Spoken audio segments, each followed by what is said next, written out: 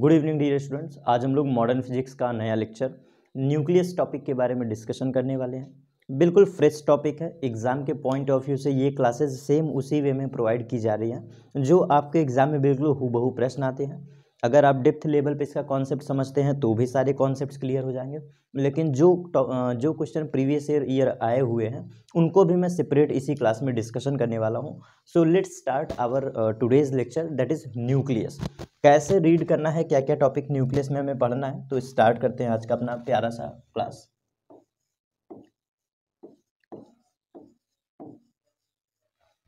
nucleus का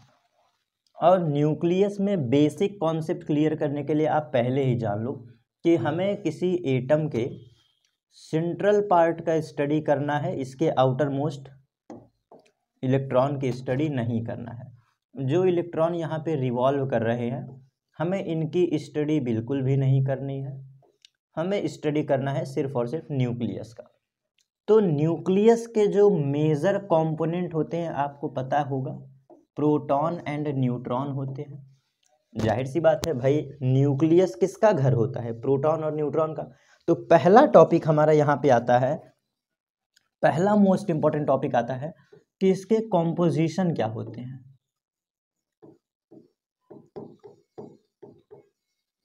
composition of nucleus तो composition of nucleus में सिर्फ और सिर्फ दो लोग आते हैं एक होता है प्रोटॉन और एक होता है न्यूट्रॉन इसके अलावा इसमें कोई और नहीं रहता बाकी मानने के लिए इसमें इलेक्ट्रॉन प्रोटॉन न्यूट्रॉन से भी और डिविजिबल पार्टिकल मेजॉन पार्टिकल रहते हैं लेकिन वो डेप्थ लेवल का कॉन्सेप्ट है आप अपने हायर स्टडी के दौरान पढ़िएगा न्यूक्लियस में मेजॉन पार्टिकल भी पाए जाते हैं वो आगे की कहानी है वो हम लोग फिर कभी सीखेंगे आइए चलते हैं जो प्रोटॉन होता है इट कंटेनिंग पॉजिटिव चार्ज आपको पता होगा प्रोटॉन कैरिंग पॉजिटिव चार्ज और neutron containing chargeless particle chargeless particle it means chargeless हो गया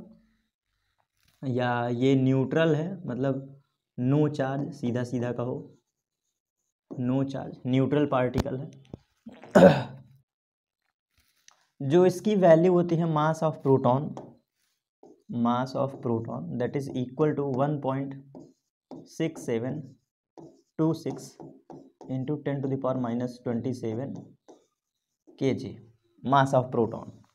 और वही बात करते हैं मास ऑफ न्यूट्रॉन की तो मास ऑफ जो न्यूट्रॉन होता है ये होता है one point six seven four eight into ten to the power minus twenty seven बहुत ध्यान से देखिए जो मास ऑफ प्रोटॉन है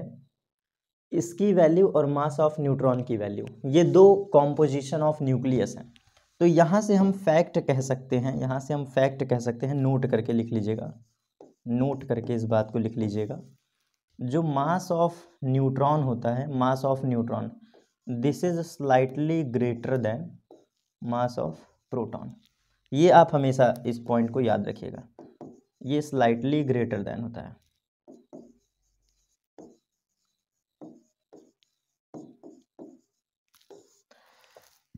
न्यूट्रॉन का मास थोड़ा सा ज़्यादा होता है कंपैरिजन टू प्रोटॉन ये अकॉर्डिंग टू डाटा आप देख सकते हैं 1.6726 है और वहाँ पर 1.6748 है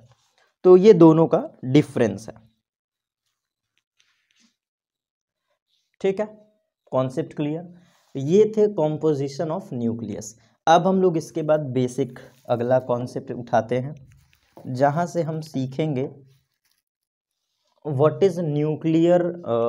सबसे पहले हम लोग समझते हैं न्यूक्लियॉन्स क्या होते हैं न्यूक्लियॉन्स न्यूक्लियॉन्स क्या होते हैं तो बेटा जो न्यूक्लियॉन्स होता है it is a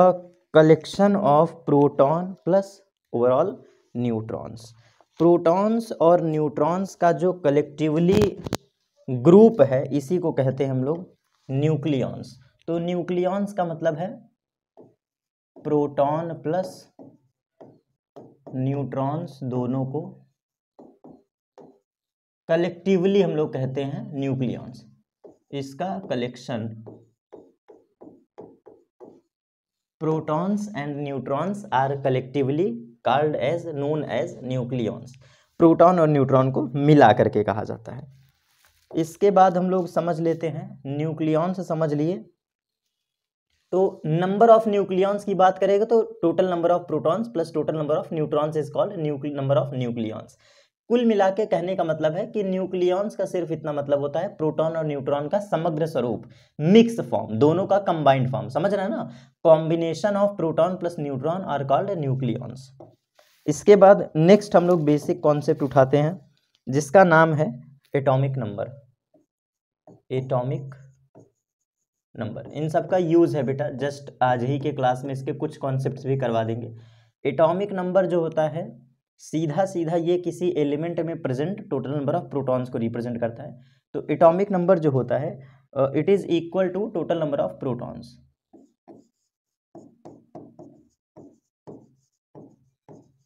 it is equal to total number of protons बस इतना ही किसी एलिमेंट का एटॉमिक नंबर किस बात को रिप्रेजेंट करता है उसके टोटल नंबर ऑफ प्रोटॉन्स को आगे इसका यूज है नेक्स्ट टॉपिक चलते हैं एटॉमिक नंबर के बाद मास नंबर मास नंबर ये मास नंबर क्या होता है देखो मास नंबर सीधा सीधा कोरिलेट करता है टोटल नंबर ऑफ न्यूक्लियॉन्स को बचपन में आप पढ़े होंगे कॉन्सेप्ट आपने पढ़ा होगा जो मास नंबर होता है equal to equal to total number of nucleons किसी एलिमेंट में कितने न्यूक्लियॉन्स हैं ये सीधा सीधा डिफाइन करता है मास नंबर को आपके कॉन्सेप्ट को क्लियर करने के लिए मैं एक बात रख दूं अपनी मास नंबर को हम लोग ए से रिप्रेजेंट करते हैं याद रखिएगा मास नंबर को ए से रिप्रेजेंट करते हैं एटॉमिक नंबर को जेड से रिप्रेजेंट करते हैं याद कर लीजिएगा इस पॉइंट को ठीक है ये हमसे गलती से मैंने लिखा नहीं लेकिन अब लिख दे रहे हैं क्या दिक्कत है ठीक है तो मास नंबर को ए से रिप्रेजेंट किया जाता है और एटॉमिक नंबर को जेड से किसी भी एलिमेंट का एटॉमिक नंबर बिल्कुल सीधा सीधा इस बात को बताता है कि उसमें कितने नंबर ऑफ प्रोटॉन्स हैं और अगर बात करें मास नंबर की नाम से क्लियर है मास नंबर ये मास को डिफाइन करेगा न्यूक्लियस के मास को डिफाइन करेगा तो अगर मास नंबर की हम बात कर रहे हैं तो मास नंबर क्या बताता है किसी एलिमेंट का तो मास नंबर सीधा सीधा बताता है टोटल नंबर ऑफ न्यूक्लियॉन्स का ठीक है हमने एटॉमिक नंबर समझ लिया हमने मास नंबर समझ लिया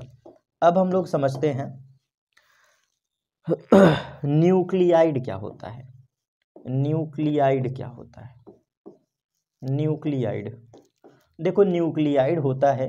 किसी एलिमेंट एक्स जेड ए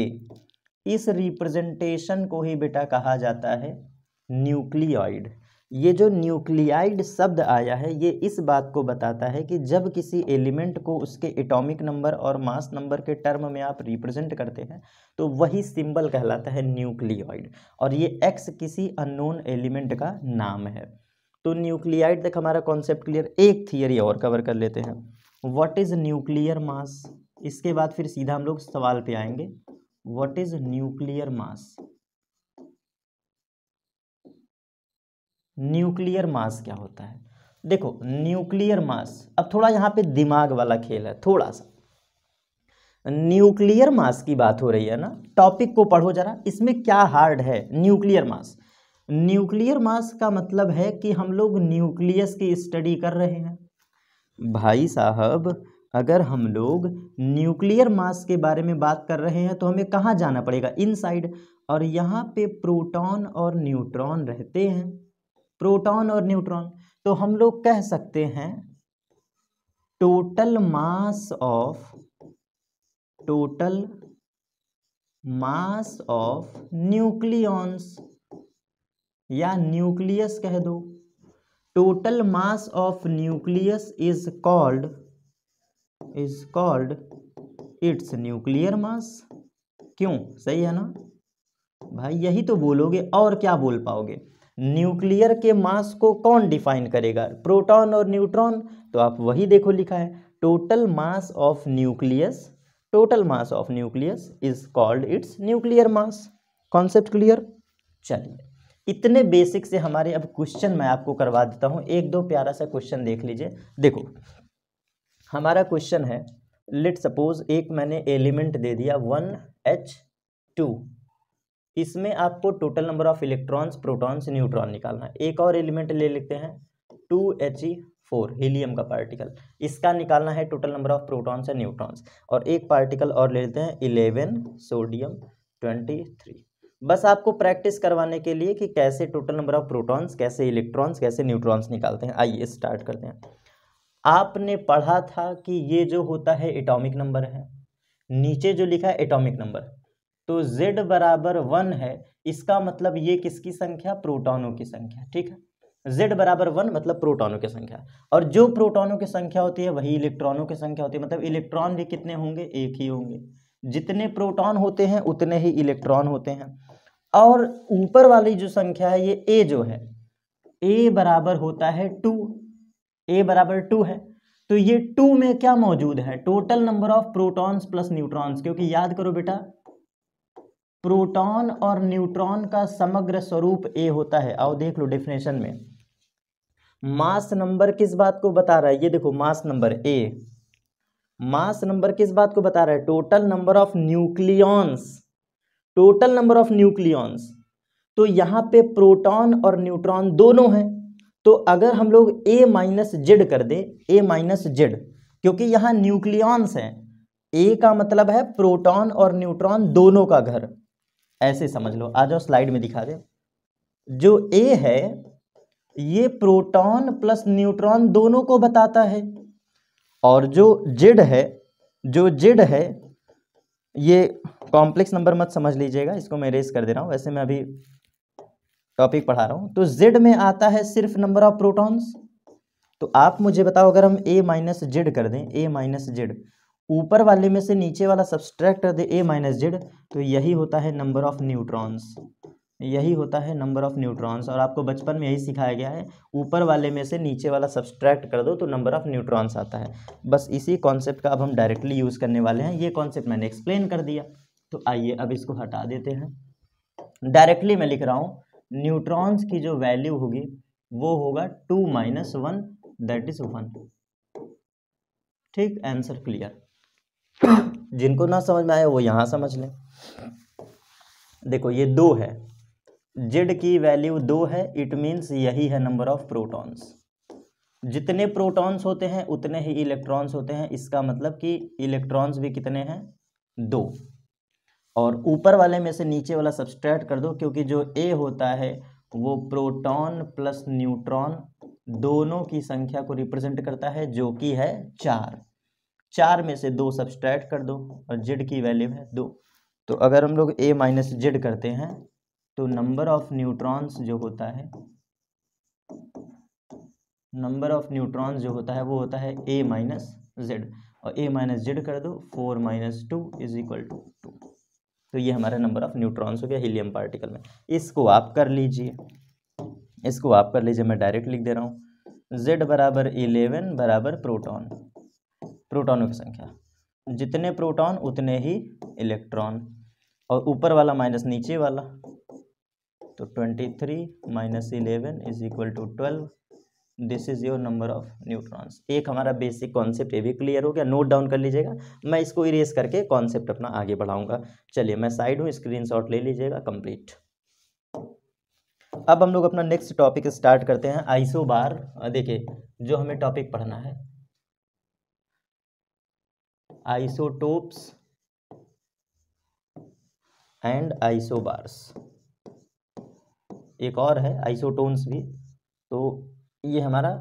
एक हम लोग पढ़ेंगे आइसोटोप्स एक पढ़ेंगे आइसोबार्स तो स्टार्ट करें आइसोटोप को ही हम लोग आइसोप्रोटॉन्स भी कहते हैं आइसोटोप्स को ही हम लोग आइसोप्रोटॉन्स भी कहते हैं और यहाँ से एक फ़ायदा मिल गया इस नाम को पढ़ने से आइए देखिए आइसोटोप्स का मतलब होता है सेम एटॉमिक नंबर आइसोटोप्स का मतलब होता है सेम एटॉमिक नंबर हो सेम एटॉमिक नंबर हो but different number of nucleons हों जो आइसोटोप्स की परिभाषा है तो यहाँ पे सेम एटॉमिक नंबर होगा same atomic number but different different number of nucleons होंगे न्यूक्लियॉन्स अब इसका एग्जाम्पल हम लोग सेट कर लेते हैं इसके कुछ एग्जाम्पल सेट कर लेते हैं जैसा कि हम जानते हैं जैसा कि हम जानते हैं हाइड्रोजन के हाइड्रोजन के थ्री आइसोटोप्स होते हैं लिख लीजिएगा one H one one H two one H three यहाँ पे देखिए सेम एटॉमिक नंबर है वन वन वन सेम और डिफरेंट न्यूक्लियॉन्स कैसे है वन माइनस वन ज़ीरो तो यहाँ पे न्यूक्लियॉन्स है ज़ीरो यहाँ पे न्यूक्लियॉन्स है two minus one that is one यहाँ पे न्यूक्लियॉन्स है three minus one that is two तो डिफरेंट नंबर ऑफ न्यूक्लियॉन्स हो गए अब आप इतने होशियार हैं अगले टॉपिक को आप ऐसे समझ सकते हैं six C twelve and six C fourteen ये भी हमारे कार्बन के दो आइसोटोप्स हैं रिकॉल करने के लिए याद रखिएगा और एग्जाम्पल ले लेते हैं ऑक्सीजन के भी थ्री आइसोटोप्स होते हैं eight oxygen sixteen eight oxygen seventeen and eight oxygen eighteen ये थ्री आइसोटोप्स होते हैं ऑक्सीजन के सेम उसी तरह क्लोरीन की बात करें seventeen chlorine thirty five seventeen chlorine thirty seven ये दो पाए जाते हैं इसके बाद अगर हम बात करें यूरेनियम का तो ninety two uranium two thirty five and 92 uranium 237 ये इतने आइसोटोप्स हो गए अब बात करते हैं बेटा आइसोबार्स की तो आइसोबार्स का मतलब होता है it having same mass number same mass number but different atomic number तो देखिए नाम से क्लियर है आइसोबार्स आइसोबार्स आइसोबार्स का मतलब होता है वेट सेम होना चाहिए मास नंबर तो आइसोबार्स का मतलब है same mass number same mass number यहां पे मास नंबर सेम होगा but different atomic number different atomic number बस इतना अगर आपने पढ़ लिया तो कॉन्सेप्ट क्लियर आइसोबार्स का आप एग्जांपल ले लेते हैं हम लोग प्यारा सा अब इसके एग्जाम्पल ले लिया जाए आइसो बार्स के चलिए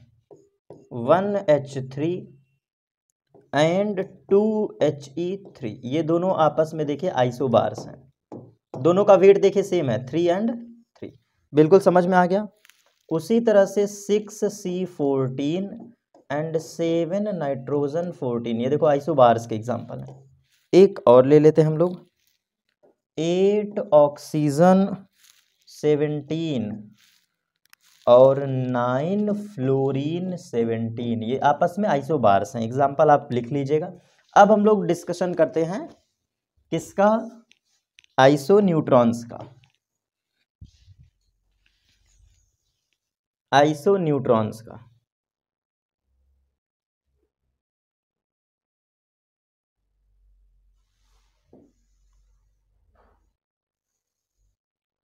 चलिए सही है विजिबल है सही होगा बड़े में तो लिखे ही थे हम लोग अब छोटा हमने कर दिया क्योंकि हमें जगह चाहिए था आइए अब हम लोग आइसो न्यूट्रॉन्स के बारे में पढ़ते हैं सॉरी आइसो टोन्स आइसोटोन्स था ये आइसोटोन्स तो जिसके नाम में शब्द आ रहा है टोन्स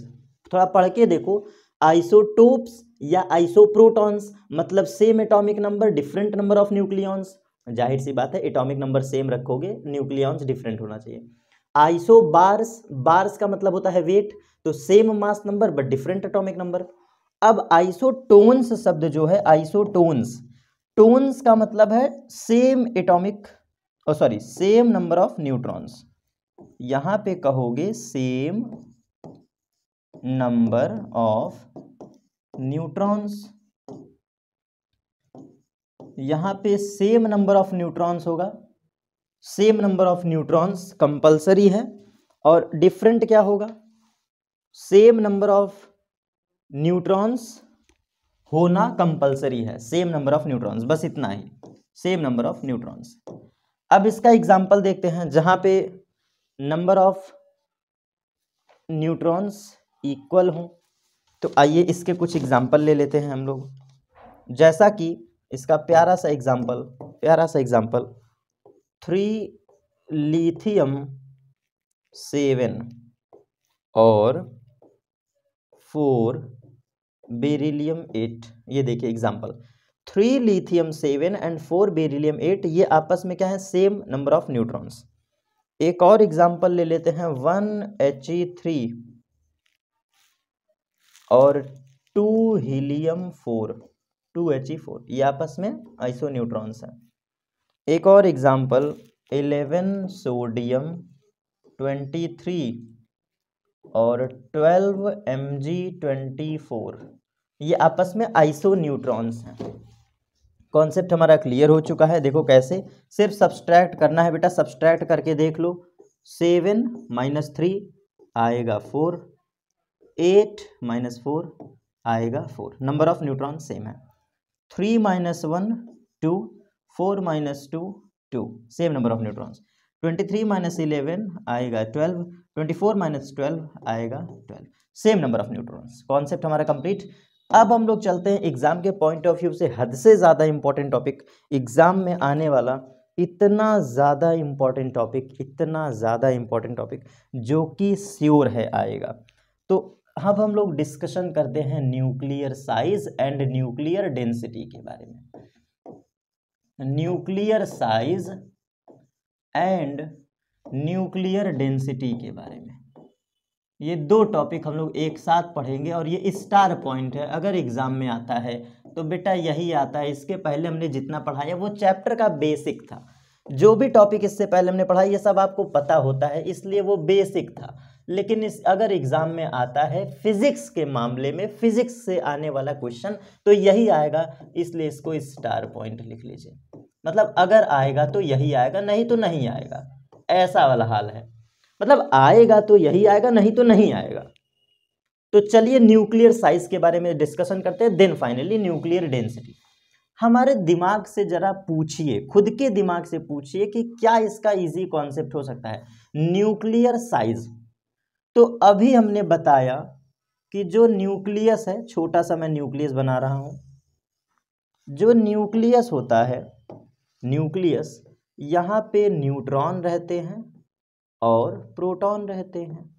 सही कह रहा हूँ न्यूट्रॉन और प्रोटॉन रहते हैं अगर हम आपसे एक प्रश्न पूछें सर क्या कहीं ना कहीं कहीं ना कहीं ये प्रोटॉन और न्यूट्रॉन के नंबर ध्यान से सुनिएगा इस न्यूक्लियस की जो साइज है न्यूक्लियस की जो साइज है कहीं ना कहीं नंबर ऑफ न्यूट्रॉन्स और नंबर ऑफ प्रोटॉन से प्रभावित होगा कि नहीं क्यों क्योंकि कम प्रोटॉन कम न्यूट्रॉन तो छोटी साइज ज़्यादा प्रोटॉन ज़्यादा न्यूट्रॉन बड़ी साइज तो यहां से हम समझ सकते हैं कि जो मास नंबर होता है ध्यान से समझिएगा मास नंबर पढ़े हो ना मास नंबर जिनको ना दिमाग काम कर रहा हो देख लो एक बार देखो कहा हमने पढ़ाया है ये देखो मास नंबर लिखे हो ना मास नंबर मास नंबर किसको बता रहा है it is equal to the total number of nucleons और न्यूक्लियॉन्स का मतलब है प्रोटॉन प्लस न्यूट्रॉन दोनों का समग्र फॉर्म देखो ऊपर लिखे हो ना न्यूक्लियॉन्स में दोनों आते हैं कलेक्टिवली चलो तो वही चीज़ मैं पढ़ा रहा हूँ इट मीन्स कहीं ना कहीं न्यूक्लियर साइज जो डिपेंड करेगा टोटल नंबर ऑफ प्रोटॉन्स और टोटल नंबर ऑफ न्यूट्रॉन्स पे तो वी कैन ईजिली से mass number is directly proportional to the mass number is directly proportional to the volume of volume of nucleus nucleus sir कैसे आइए समझाते हैं इस atom का जो न्यूक्लियस होता है किसी भी एटम का जो न्यूक्लियस होता है इसकी साइज स्फेरिकल एज्यूम करते हैं तो यहां पे एक आप ऐसे नोट कीवर्ड बता सकते हैं कि size of nucleus size of nucleus size of nucleus assumed as a sphere as a sphere so so अगर साइज ऑफ न्यूक्लियस को हम स्फीयर माने स्फीयर तो मास नंबर किसके डायरेक्टली प्रोपोर्शनल वॉल्यूम के तो यहां पे अब मैं एक लाइन लिखने जा रहा हूं देखिएगा ध्यान से साइज का मतलब volume V volume is directly proportional to A A का मतलब मास नंबर ए का मतलब मास नंबर और मास नंबर जो है वो सीधा सीधा वॉल्यूम के डिपेंडेंट तो four by three pi R cube और आर क्या है रेडियस रेडियस इस न्यूक्लियस की रेडियस आर हमने एज्यूम कर लिया तो आर क्या है न्यूक्लियस का साइज तो यहाँ से हम लोग लिख सकते हैं इस एबब रिलेशन से ये देखिएगा यही आपको रिकॉल करना है इस एबब रिलेशन से A is directly proportional to R cube A is directly proportional to R cube और हमें स्टडी करना है न्यूक्लियर साइज का हमें स्टडी करना है न्यूक्लियर साइज तो रेडियस ही तो डिफाइन करेगा न्यूक्लियर साइज को न्यूक्लियर ही तो डिफाइन करेगा न्यूक्लियर साइज को तो यहां से हम अगेन नोट डाउन कर सकते हैं R is directly proportional to the A to the power one by three देख लो ऊपर का रिलेशन क्या है first step second step third step और इसको थोड़ा सा छोटा कर दें ताकि आपको चीज़ें समझा सकें चलो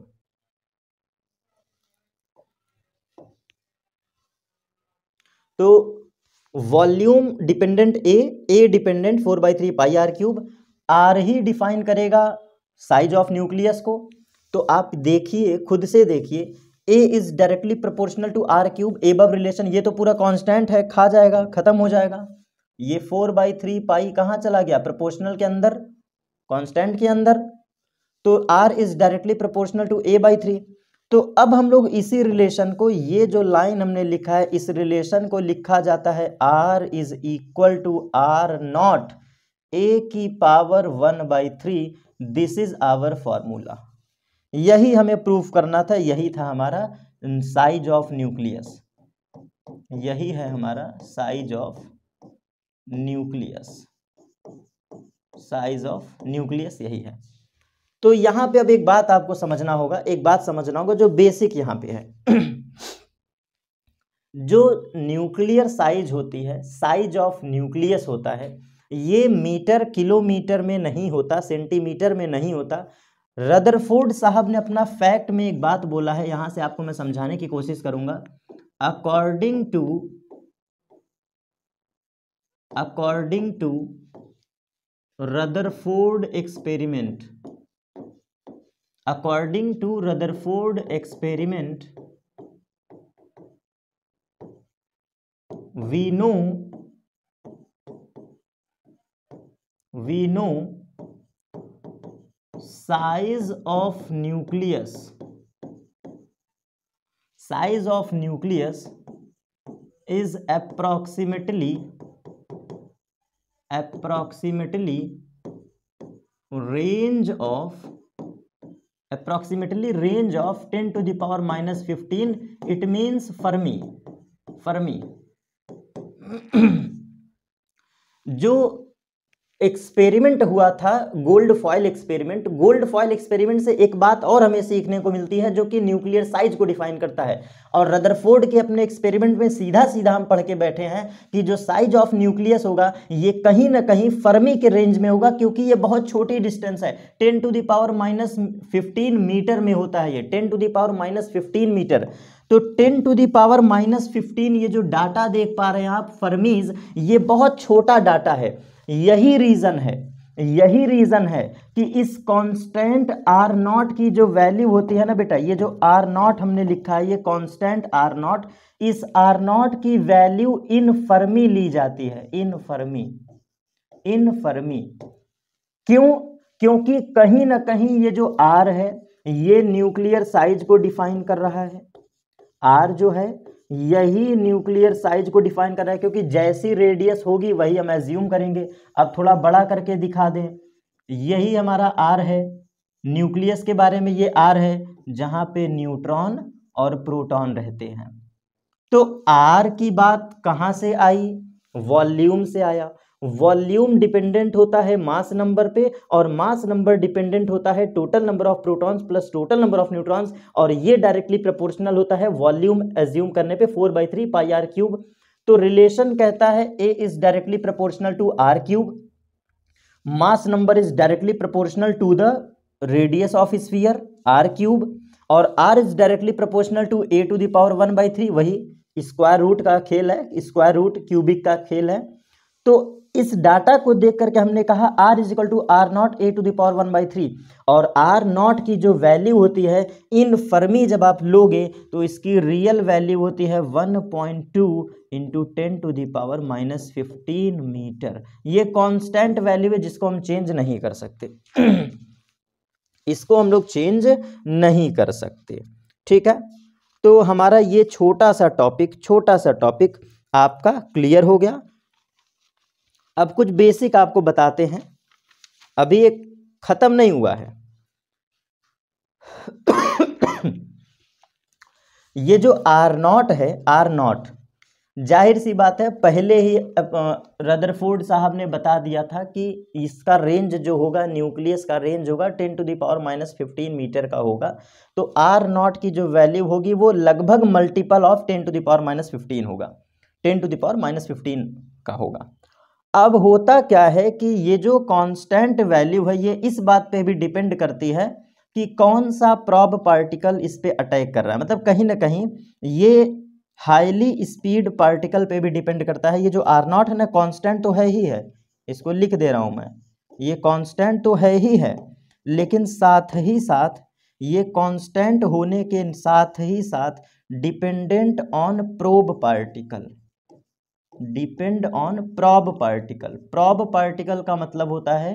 हाईली स्पीड पार्टिकल जो कि न्यूक्लियस पे अटैक किए जा रहे हैं जो कि बम्बार्डिंग किया जा रहा है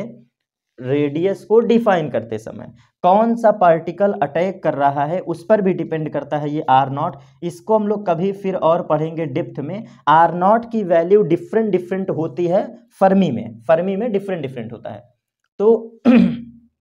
आपके लिए इम्पॉर्टेंट कॉन्सेप्ट ये है आपके लिए इम्पॉर्टेंट कॉन्सेप्ट ये है कि जो आर नॉट की वैल्यू हमने लिखा है one point two into ten to the power minus fifteen ये छोटा डाटा है बहुत ही छोटा डाटा है क्यों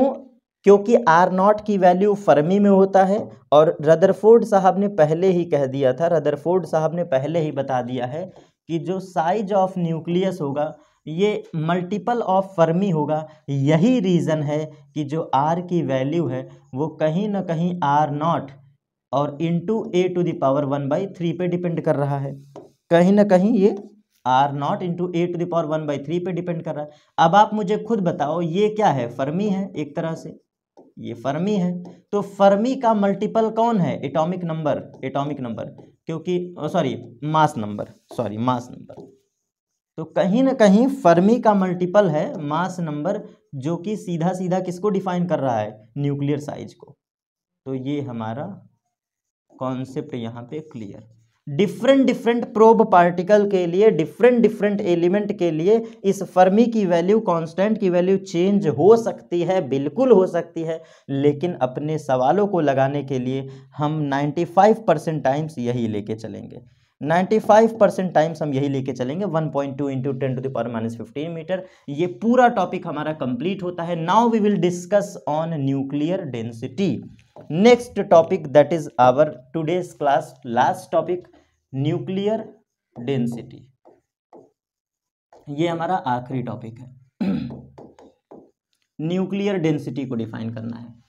अब न्यूक्लियर डेंसिटी क्या होता है भाई आप जाहिर सी बात है जानते हैं बिल्कुल डायरेक्टली मैं कह सकता हूं we know density is equal to mass upon volume mass upon volume यही तो होता है ठीक है तो कहीं ना कहीं अगर हम न्यूक्लियस की बात करें ये छोटा सा सिर्फ मैं न्यूक्लियस बना रहा हूं तो न्यूक्लियस का रियल मास कितना होगा न्यूक्लियस का रियल मास कितने होंगे जितने उसमें प्रोटॉन हैं जितने उसमें न्यूट्रॉन हैं इसको मल्टीप्लाई कर दो किससे मास ऑफ एवरेज मास से मतलब जितने नंबर ऑफ प्रोटॉन्स हैं जितने नंबर ऑफ न्यूट्रॉन्स हैं इसको मल्टीप्लाई कर दो कितने पार्टिकल हैं तो देखो अब समझना थोड़ा सा कॉन्सेप्ट का खेल है कॉन्सेप्ट का खेल है कॉन्सेप्ट का खेल है आप पढ़ के बैठे हैं आप पढ़ के बैठे हैं एक मैं नोट लिखने जा रहा हूं ताकि mass of neutron mass of nucleus आ सके वी नो पहली लाइन लिख दो we know mass of proton is approximately equal to mass of neutron so its average mass so its average mass we know mass of proton and mass of neutron is approximate equal so its average mass is taken as is taken as equal to equal to mass of proton approximate दोनों का average लेने के बाद हम कह सकते हैं mass of proton is approximate equal to mass of neutron is equal to one point six seven into ten to the power minus twenty seven K G हम इतना ले रहे हैं ठीक है तो इससे फ़ायदा क्या मिला यहां से फ़ायदा क्या मिला total mass of nucleus equal to total क्योंकि हमें डेंसिटी निकालना है डेंसिटी बराबर मास अपॉन वॉल्यूम तो total mass is equal to is equal to total mass is equal to mass of proton जो कि एमपी है और इसको मल्टीप्लाई कर दो ए से ए से मास नंबर से यही होगा ए टाइम्स एम पी यही हमने लिया है ये ए क्या है total number of proton plus neutron A क्या है मास नंबर क्योंकि जाहिर सी बात है जितने पार्टिकल होंगे मास नंबर किस बात को बताता है मास नंबर इस बात को बताता है कि इतने प्रोटॉन है इतने न्यूट्रॉन है और न्यूक्लियस में वाकई में रहता कौन है न्यूक्लियस में वाकई में रहता कौन है प्रोटॉन प्लस न्यूट्रॉन का ही तो घर है न्यूक्लियस प्रोटॉन और न्यूट्रॉन का ही तो घर है न्यूक्लियस तो हमें पता है कि अगर दोनों का अप्रॉक्सीमेट द्रव्यमान अप्रॉक्सीमेट मास सेम है प्रोटॉन के मास के तो इसको मल्टीप्लाई कर दो ए से आ गया टोटल मास इसी लाइन का हम यूज़ करने वाले हैं अब देखो हमारा आधा कॉन्सेप्ट आधा कॉन्सेप्ट हमारा कवर हो गया इतने से सिर्फ ये लिखने भर से हमारा आधा कॉन्सेप्ट क्लियर आओ चलो न्यूक्लियर डेंसिटी हमने लिख दिया तो आप मुझे बताना बेटा अब हम लोग फॉर्मूला डायरेक्ट लगाते हैं rho is equal to mass upon volume तो मास की जगह हम लोग रखेंगे मास की जगह हम लोग रखेंगे क्या मास की जगह हम लोग रख देते हैं A into A into M P M P divide by divide by volume volume की जगह रखोगे four by three pi R cube सही है क्योंकि इसका रेडियस क्या एज्यूम कर रहे हैं अभी भी हम लोग आर ही लेके चल रहे हैं रेडियस उसकी कितनी है आर तो मुझे एक बात बताओ यहाँ तक आपको समझ में आया यहाँ तक आपको समझ में आया कोई डाउट नहीं थ्री को उठा के ऊपर भेज दो तो थ्री आ गया ऊपर ए आ गया ऊपर और एम ऑफ पी मतलब ये सेम वैल्यू है बेटा mass of proton is equal to mass of neutron हम वैल्यू ये लेके चल रहे हैं न्यूमेरिकल में हम ये लेके चलेंगे ठीक तो इतना हो गया divide by four pi R का क्यूब सही है यहाँ तक बिल्कुल सर एकदम मज़ा आ गया बिल्कुल मज़ा आ गया तो अगर यहाँ तक सही है तो अब कैलकुलेशन की खेल खेलने जा रहे हैं कैलकुलेशन का खेल इस आर की जगह अब डाटा पुट करो इस आर की जगह डाटा पुट करो आर नॉट की पावर वन बाई थ्री तो एक स्टेप और ध्यान दीजिएगा एक स्टेप और ध्यान दीजिएगा थ्री अपनी जगह है ए अपनी जगह है मास ऑफ प्रोटॉन अपनी जगह है होल डिवाइड बाई नीचे का स्टेप सबसे खतरनाक है ये फोर पाई हो गया और आर की जगह अब हम लोग रखेंगे R naught A to the power one by three और इस पूरे का क्यूबिक पूरे का क्यूबिक तो आप मुझे बताओ अगर आपकी थोड़ी सी भी मैथ स्ट्रांग है तो ऊपर के डाटा में तो कोई चेंजेस नहीं होगा three A M P divide by नीचे भी कुछ नहीं चेंज हुआ फोर पाई तक लेकिन आर नॉट का क्यूब है ये देखो होल क्यूब है ना बेटा आर का होल क्यूब है तो मतलब आर नॉट का क्यूबिक हो जाएगा मानते हैं आर नॉट का क्यूबिक और ए का कैंसिल आउट हो जाएगा ए का जब आप क्यूब करोगे तो ये कट जाएगा थ्री से थ्री कट गया बचा क्या सिर्फ ए तो three times A into M P whole divide by four pi R naught का क्यूबिक इनटू ए बचा और बड़ा अच्छा लगा इस लाइन को लिख करके ए से ए भी कट गया it means density does not dependent on mass number यहाँ से ये क्लियर हो गया और ये हमारा डेंसिटी की फाइनल वैल्यू निकल के आ गई डेंसिटी की फाइनल वैल्यू निकल के आ गई देखो रो बराबर हो गया three times M P whole divide by four pi R naught का क्यूबिक और यही हमारा डेंसिटी का फॉर्मूला है यही हमारा डेंसिटी का फॉर्मूला है बस यहीं पे वैल्यू पुट कर दो तो हमें एवरेज डेंसिटी भी निकल के चली आएगी तो आइए ज़रा से यहाँ पे एक नोट लिख लेते हैं नोट लिख लेते हैं density does not dependent on mass number मतलब density of nucleus density of nucleus does not dependent on does not dependent on mass number क्योंकि कट गया ना बेटा ध्यान से देखो कट गया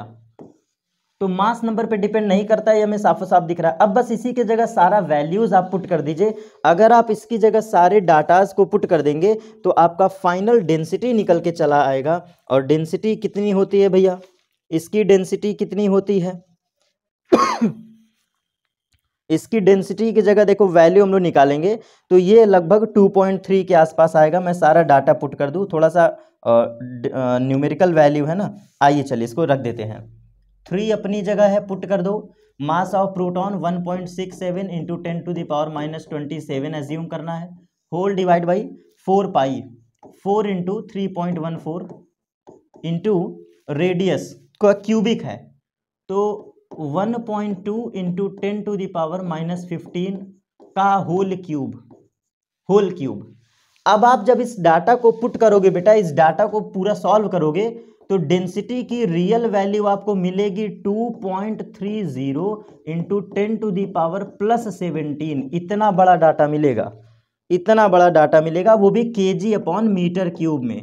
के जी अपॉन मीटर क्यूब में अब आप मुझे खुद देख करके बताओ खुद देख करके बताओ जिसकी डेंसिटी इतनी बड़ी हो ten to the power seventeen के टर्म में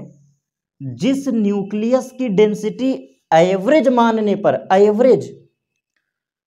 एवरेज मानने पे इतना बड़ा डाटा आ रहा है 2.3 point three into ten to the power plus seventeen सुन करके हालत खराब हो जाने वाला डाटा इतना बड़ा तो जिसका डेंसिटी न्यूक्लियस का approximate ten to the power seventeen में आ रहा है तो क्या तुम सोच सकते हो कि वो न्यूक्लियस कितना हार्ड होगा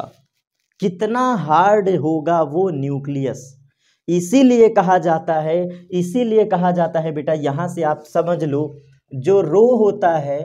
ये 2.3 point three into ten to the power plus seventeen के ऑर्डर का है के जी अपॉन मीटर क्यूब इसीलिए कहा जाता है कि किसी भी न्यूक्लियस को तोड़ पाना इम्पॉसिबल होता है मतलब देखो इतना इम्पॉसिबल नहीं है लेकिन ईजी तो बिल्कुल नहीं है क्योंकि इसकी डेंसिटी बहुत हाई है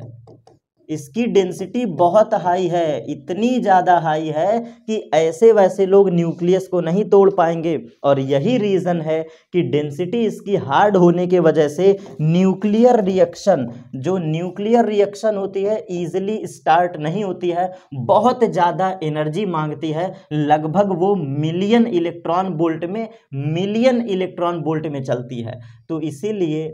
nuclear reaction nuclear reaction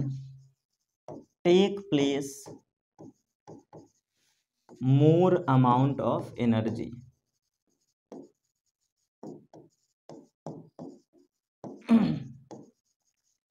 जाहिर सी बात है न्यूक्लियर रिएक्शन को होने के लिए बहुत ही तगड़ी एनर्जी की आवश्यकता होती है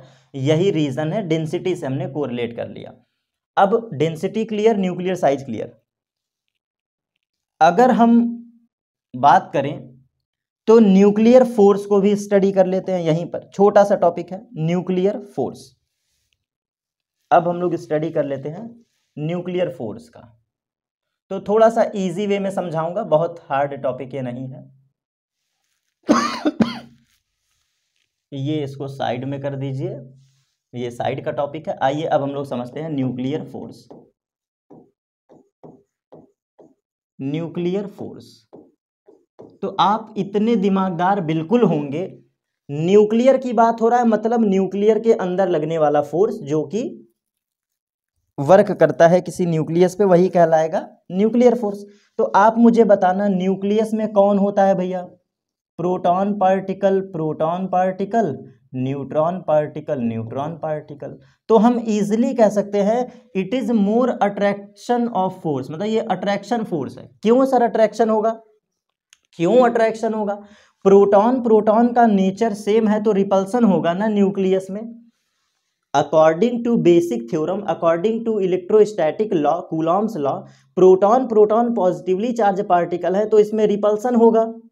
लेकिन मोर नंबर ऑफ प्रोटॉन भी कैसे उतने छोटे से जगह में है थोड़ा सोच करके देखो कि किसी छोटे से न्यूक्लियस में किसी छोटे से न्यूक्लियस में जिसकी size ten to the power minus fifteen के रेंज में है फर्मी के रेंज में है इस छोटे से जगह में इस छोटे से जगह में कैसे प्रोटॉन प्रोटॉन रह सकते हैं कैसे रिपल्सिव फोर्स रह सकते हैं तो कोई ना कोई तो ऐसा हार्ड वर्किंग फोर्स होगा जो इसको बांध के रखा है तो यहाँ से हम कह सकते हैं अगर यहाँ पे इलेक्ट्रोस्टैटिक फोर्स वर्क करता है तो न्यूक्लियस को टूट जाना चाहिए था ड्यू टू रिपल्सन लेकिन प्रोटॉन प्रोटॉन को बांधे रख रहा है इसलिए हम कहते हैं it is more attraction force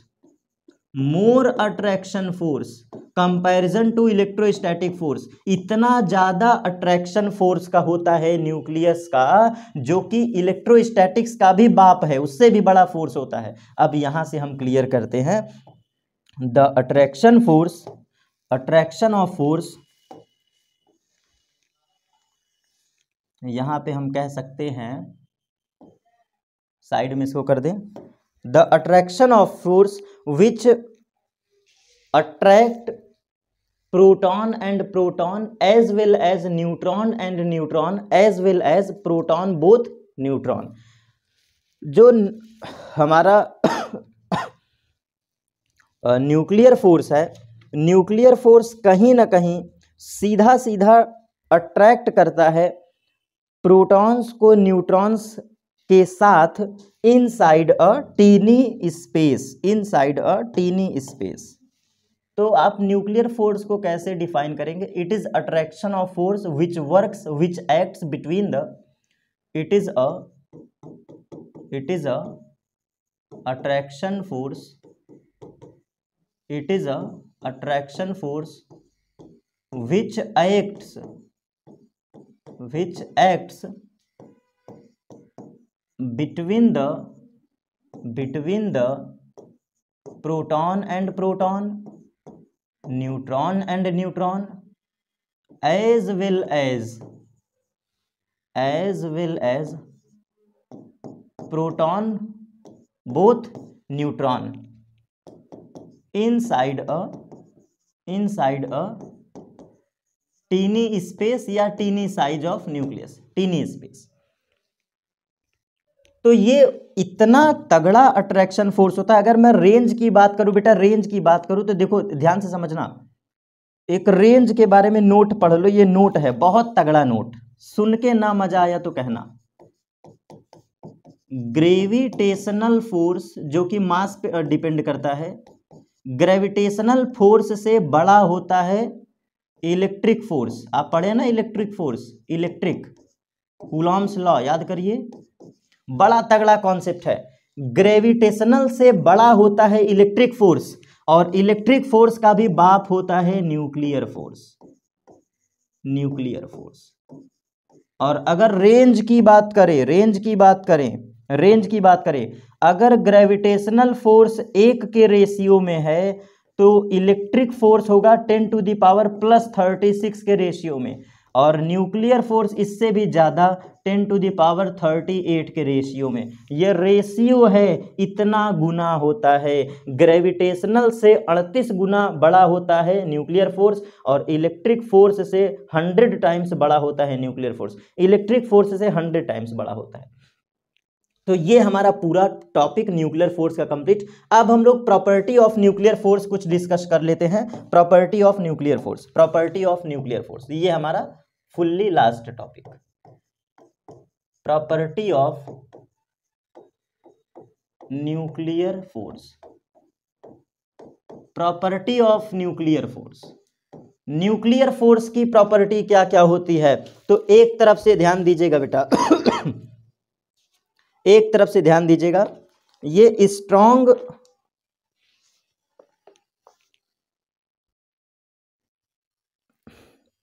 ये स्ट्रांग अट्रैक्शन फोर्स होता है पहली चीज basic basic point strong attraction force होता है स्ट्रांग अट्रैक्शन फोर्स होता है between the proton and neutron ठीक स्मॉल अट्रैक्शन फोर्स होता है याद रखिएगा दूसरा पॉइंट ये शॉर्ट रेंज फोर्स है बहुत छोटे रेंज में लगता है short range force short range आपको पता है क्यों शॉर्ट रेंज कहा जा रहा है क्योंकि खुद सोच के देखो जिसकी radius ten to the power minus fifteen में बिलोंग कर रही है जिसकी radius ten to the power minus fifteen में बिलोंग कर रही है तो जाहिर सी बात है ये बहुत शॉर्ट रेंज फोर्स होगा शॉर्ट रेंज का मतलब बहुत छोटे छोटे पार्टिकल के बीच गैप मतलब इसका रेंज बहुत कम है रेंज का मतलब ये मत कह देना कि आ, मतलब सर वैल्यू कम है नहीं शॉर्ट रेंज का मतलब है ये सिर्फ और सिर्फ बहुत ही ज़्यादा पास पार्टिकल न्यूट्रॉन न्यूट्रॉन के बीच प्रोटॉन प्रोटॉन के बीच लगेगा ये कहने का मतलब बात समझे बहुत छोटे पार्टिकल जब पास पास आएंगे प्रोटॉन और न्यूट्रॉन जब बहुत पास आएगा तो लगता है इसलिए कहा जाता है शॉर्ट रेंज फोर्स इसके बाद अगर बात करें ये चार्ज इंडिपेंडेंट कैरेक्टर है मतलब न्यूक्लियर फोर्स कभी भी चार्ज पे डिपेंडेंट नहीं होता नहीं होता है तीसरा आप लिख लीजिएगा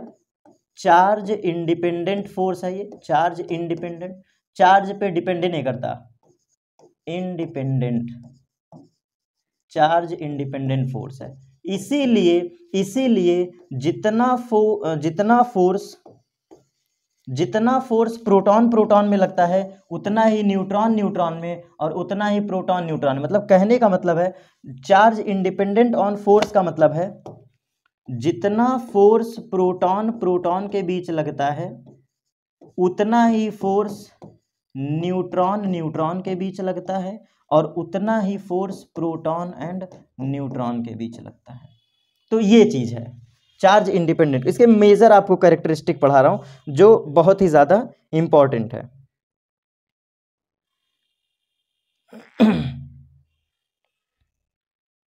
देखो और उसके बाद ये सैचुरेशन इफेक्ट को रिप्रेजेंट करता है सैचुरेशन इफेक्ट को सैचुरेशन इफेक्ट का मतलब है देखो ध्यान समझना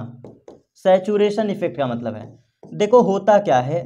कि ग्रेविटेशनल फोर्स हर एक पार्टिकल पे लगता है थोड़ा सोच के देखेगा ग्रेविटेशनल फोर्स हर एक पार्टिकल पे लगता है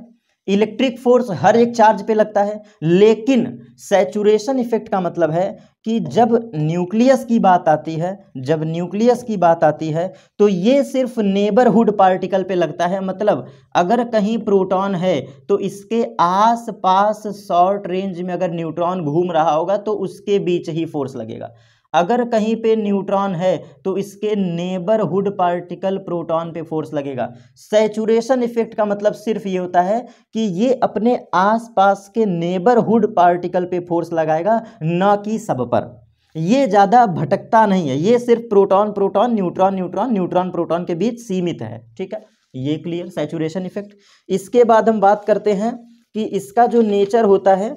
ये स्पिन पे भी डिपेंड करता है स्पिन पे ठीक है स्पिन पे अब क्या स्पिन का मतलब क्या है ये स्पिन डिपेंडेंट फोर्स है स्पिन डिपेंडेंट फोर्स है spin dependent force spin dependent का मतलब होता है अगर दो पार्टिकल सेम स्पिन में नाच रहे हैं दो पार्टिकल सेम स्पिन में स्पिन का मतलब नाचना होता है रोटेट करना अगर दो पार्टिकल सेम स्पिन में नाच रहे हैं तो यहाँ की फोर्स जो होगी ये मैक्स होगा मैक्सिमम होगा as compare to opposite spin of particle opposite spin of अब यहाँ पे अपोजिट स्पिन हो गया एक दूसरे का अपोजिट तो सेम स्पिन में न्यूक्लियर फोर्स मैक्स होता है और अपोजिट स्पिन में फोर्स कैसी होती है न्यूक्लियर फोर्स मिनिमम होता है तो ये आपका इसकी अलग करेक्टरिस्टिक ये नेक्स्ट प्रॉपर्टी आगे मूव ऑन करते हैं ये सेंट्रल फोर्स नहीं होता है मतलब ये नॉन सेंट्रल फोर्स होता है बस लास्ट इतना सफिशियंट है इतनी प्रॉपर्टी आप लिख दो एग्जाम में बहुत है नॉन सेंट्रल फोर्स है ये सेंटर टू सेंटर नहीं लगता जैसा कि आप पढ़े होंगे आप पढ़े होंगे पॉजिटिव चार्ज पॉजिटिव चार्ज पर एलोंग अ लाइन लगता है ना इलेक्ट्रॉन इलेक्ट्रॉन के बीच अलॉन्ग अलाइन फोर्स लगता है ना लेकिन न्यूक्लियर फोर्स ऐसा नहीं है ये नॉन सेंट्रल फोर्स है ये किसी भी डायरेक्शन में किसी भी पार्टिकल पे लग सकता है कुछ इस तरीके से कि वो सब पे फोर्स लगाएगा न्यूक्लियस के भीतर नॉन सेंट्रल ये न्यूट्रॉन है ये प्रोटॉन है ये प्रोटॉन है ये न्यूट्रॉन है तो कहीं पर भी हो ये नॉन सेंट्रल है मतलब it does not works along a line along a line joining with proton and neutron non central force है along a centre to centre नहीं वर्क करता इसमें आप ये बिल्कुल भी नहीं कहेंगे कि न्यू न्यूट्रॉन और न्यूट्रॉन के सेंटर के अलॉन्ग लगेगा प्रोटॉन और प्रोटॉन के सेंट्रल के अलॉन्ग लगेगा इसीलिए इसको कहते हैं it is non central force सिर्फ आपको ये टॉपिक लिखना है डिटेल्ड में नहीं बताना है आप कहोगे स्ट्रॉन्ग अट्रैक्शन फोर्स ये टॉपिक शॉर्ट रेंज फोर्स बिल्कुल सही charge independent force saturation force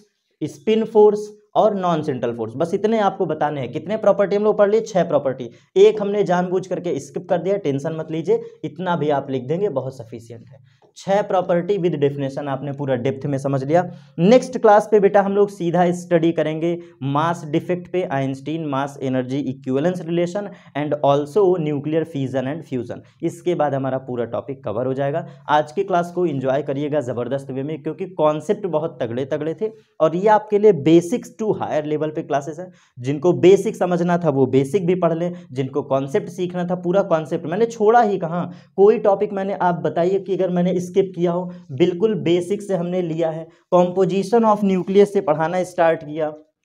composition of nucleus से पढ़ाना स्टार्ट किया दोनों का मास लिखवाया क्यों बड़ा है ये भी बताया फिर हमने बताया कि न्यू सवाल लगाते समय दोनों को अप्रॉक्सीमेटली इक्वल लिया जाता है आप खुद ही देखो अकॉर्डिंग टू डाटा ये डाटा देखो सिक्स सेवन टू सिक्स है ये डाटा देखो सिक्स सेवन फोर एट है तो इन दोनों में बड़ा कौन हुआ न्यूट्रॉन बड़ा हुआ लेकिन न्यूमेरिकल लगाते समय प्रोटॉन और न्यूट्रॉन दोनों को बराबर लेते हैं आगे चलते हैं ये हमने पूरा बेसिक स्लाइड पढ़ाया फिर हमने देखो बेसिक पढ़ाया आइसोटोप आइसोबार आइसोटोन्स पूरे एग्जाम्पल के साथ फिर हमने न्यूक्लियर साइज के बारे में पढ़ा पूरा डिप्थ में फर्मी इंटू मास नंबर क्योंकि जाहिर सी बात है मास नंबर ही डिफाइन करेगा डेंसिटी साइज को फिर हमने डेंसिटी के बारे में पूरा फैक्चुअल नॉलेज लिया ये देखो इसके बाद फिर हमने आपको न्यूक्लियर फोर्स पढ़ा दिया किस रेंज का है देख रहे हो क्या तगड़े तगड़े कॉन्सेप्ट है कुछ मैंने छोड़ा क्या यहाँ पे एक भी कॉन्सेप्ट नहीं छोड़ा एनसीईआरटी e की लाइन मिला लो इसके बाद देखो हमने इसकी प्रॉपर्टी पढ़ लिया सारे कॉन्सेप्ट को तो डेप्थ वे में हमने पढ़ाया आज का हमारा कॉन्सेप्ट है सभी बोर्ड एग्जाम के स्टूडेंट्स के लिए ये सेशन कुछ ज़्यादा इंपॉर्टेंट है क्योंकि पहला ही टॉपिक जो one of the most important topic है इस न्यूक्लियस चैप्टर का that is atomic mass unit यहीं से अपने टॉपिक को स्टार्ट करेंगे और पॉइंट बाई पॉइंट जो भी कॉन्सेप्ट है उनको स्टार्ट करते हैं रीड करना तो सबसे पहले हम लोग समझेंगे what is atomic mass unit क्या है इसका बेसिक कॉन्सेप्ट बिल्कुल इजी वे में अपना प्रयास करूंगा कि जितना बेहतर से बेहतर आपको कॉन्सेप्ट एक्सप्लेन कर सके और मुझे पूरा भरोसा है कि इससे इजी कॉन्सेप्ट में पॉसिबल भी नहीं कर सकता कम से कम शब्दों में हमेशा फिजिक्स समझाया आज भी क्लियर करूंगा देखो एटॉमिक मास यूनिट क्या होता है सबसे पहला क्वेश्चन ये होता है sir what is atomic mass unit तो हम आपको एक छोटा सा प्यारा सा कॉन्सेप्ट एक्सप्लेन करते हैं अच्छा ये बताओ आप मार्केट में जाते हो चीनी लेने तो एक किलो लेते हो आधा किलो लेते हो दो किलो लेते हो पाँच किलो लेते हो यहाँ तक कि पचास के की बोरी भी आती है आटा लेने जाते हो तो एक कुंतल की बोरी आती है गेहूं खरीदने जाते हो तो पचास के जी सौ के जी कुंतल हज़ार किलो पता नहीं कितने के जी के जी के वजन तौले जाते हैं मांस वगैरह तो एक्चुअल में हुआ क्या बेटा कि ये जो atomic mass unit term use किया गया है ये सिर्फ और सिर्फ एटम के मास को डिफाइन करने के लिए यूज़ ही किया गया है अगर आप इसको थोड़ा सा तोड़ तोड़ के पढ़ने का प्रयास करो थोड़ा तोड़ करके तो देखो एटॉमिक में शब्द छुपा हुआ है एटम और मास का मतलब तो आपको पता ही है बेसिकली मास मतलब किसी एटम के मास को मेज़र करने का ये प्रोसेस है और एक्चुअल में एटॉमिक मास यूनिट किसी एटम का ही मास डिफाइन करता है वास्तविकता में ये है कि जो हमारे 118 एलिमेंट इस यूनिवर्स में पाए जाते हैं वैसे तो इससे ज़्यादा हैं लेकिन हमें जितने से काम चलाना है 118 से हमारा काम चल जाता है मैं उतना ही बात करूँगा बाकी संख्या बढ़ती घटती है वो केमिस्ट्री वाले सर जाने मुझे नहीं जानकारी ठीक है तो जब इन एटम वगैरह की हम बात करते हैं तो इनका खुद का कुछ ना कुछ मास होता है जैसे mass of nucleus mass of electron mass of proton मतलब कुल मिला के एटम का कुछ ना कुछ मास होता है ना तो इनका मास के में नहीं डिफाइन हो पाता है मतलब किसी एटम का मास केजी में डिफाइन नहीं होता आपको पता ही होगा कि इलेक्ट्रॉन इतना छोटा होता है प्रोटॉन इतना छोटा है कि हम उसको अपने खुली आंखों से नहीं देख पाते तो कुछ ना कुछ तो ऐसा प्रोसीजर कुछ ना कुछ तो ऐसा एक बेसिक हमें स्टैंडर्ड यूनिट एज्यूम करना पड़ेगा जो एटम के मास को डिफाइन कर सके तो स्पेशली आप ये समझ लीजिए कि एटॉमिक मास यूनिट करता क्या है ये एक स्टैंडर्ड यूनिट बनाया गया है एक स्टैंडर्ड क्वांटिटी है जो कि किसी एटम के मास को डिफाइन करता है इंडिविजुअल अपने टर्म में ठीक है इसीलिए हम इसको अलग से ये टॉपिक पढ़ते हैं तो क्या होता है एटॉमिक मास यूनिट इसका आप डेफिनेशन रीड कर लेते हैं तो इसका डेफिनेशन कहता है मतलब one A M U one A M U is equivalent to one U that is equivalent to also one of the twelfth part one of the twelfth part of carbon twelve mass of an atom मतलब कुल मिला के overall जो carbon twelve का real mass है carbon twelve का six C twelve कह लो सिक्स सी ट्वेल्व का जो रियल मास है इस कार्बन के मास का एक बरहवा हिस्सा कहलाता है वन एटॉमिक मास यूनिट तो ओवरऑल अगर हम बात करें कि सर कार्बन का फिर मास कितना होता है तो थोड़ा डाटा के साथ प्रमाण के साथ बात करते हैं ताकि आपको कॉन्सेप्ट और ज़्यादा क्लियर हो सके तो देखो basically one of the twelfth part करना है तो हम यहाँ पे करेंगे क्या one of the twelfth part हो गया और कार्बन का मास अगर हम डाटा के हिसाब से बात करें जो उसका रियल डाटा एनालिसिस है ये कहता है one point nine nine two six one point nine nine two six into ten to the power minus of the twenty six minus of twenty six K G ये इसका real mass है मतलब किसका carbon का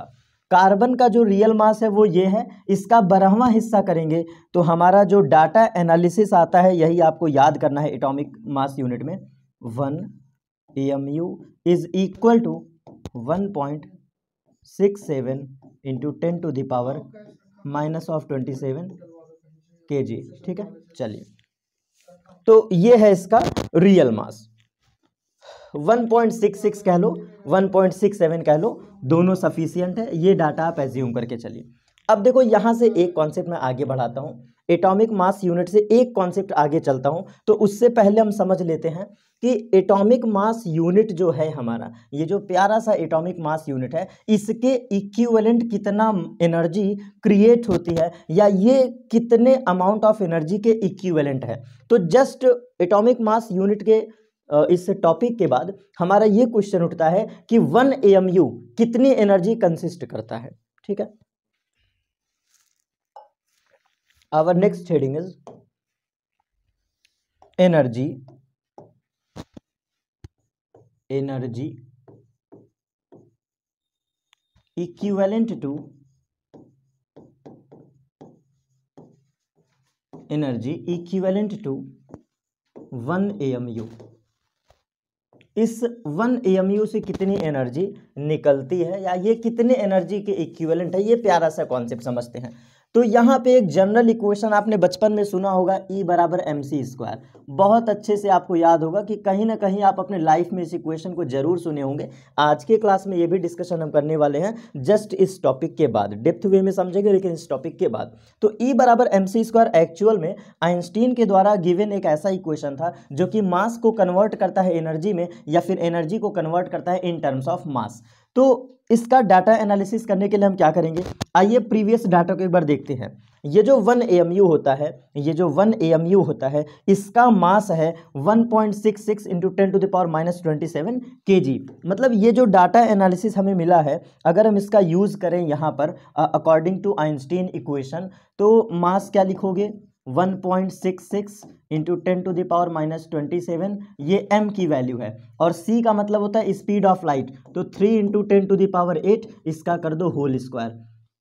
तो बेटा जब आप इस एनर्जी को मतलब मल्टीप्लाई करोगे तो ये आने वाला डाटा जवाब किस में देगा जूल में आपको पता ही है यहाँ पे मास हमने केजी में रखा है स्पीड को रखा है मीटर पर सेकंड में तो जो भी डाटा एनालिसिस आएगा जो भी एनर्जी की वैल्यू आएगी वो एनर्जी हम किस में मीज़र करेंगे जूल में अरे क्रॉस मल्टीप्लाई वगैरह कर लेना 1.66 को 9 से मल्टीप्लाई कर दो बाकी एजम्पन वगैरह एज्यूम कर लो क्योंकि हमें वो नहीं पढ़ना है जो हमारा एक लाइन का इंपॉर्टेंट कॉन्सेप्ट है हम उसको बताते हैं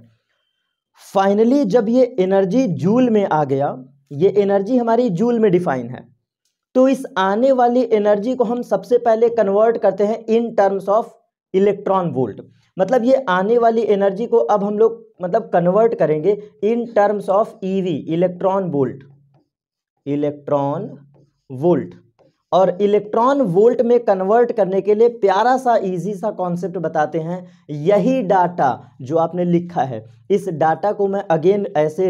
रिप्रेजेंट कर सकता हूं आपके सामने आप तो समझ ही चुके हैं डाटा एनालिसिस एनर्जी की वैल्यू के में रखे स्पीड में रखे तो आंसर किस में आ गया जूल में अब इस पूरे क्वांटिटी को यही पूरे क्वांटिटी को जो एनर्जी का टर्म आया है अगर हम इसको डिवाइड कर दें 1.6 point six into ten to the power minus nineteen से अब जो बेटा एनर्जी आएगी ये एनर्जी हमारी आ चुकी है in terms of electron volt और यही एनर्जी यही सेम एनर्जी जो मैं लिख रहा हूँ one A M U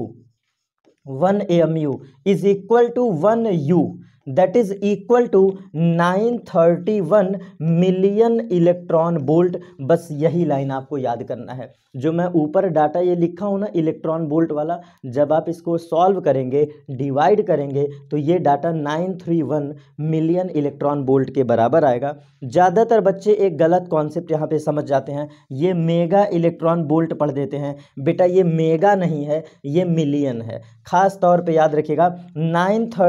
में यूज़ होने वाला टर्म जो एम है ये मेगा ना होकर करके मिलियन इलेक्ट्रॉन बोल्ट होता है ठीक है million electron bolt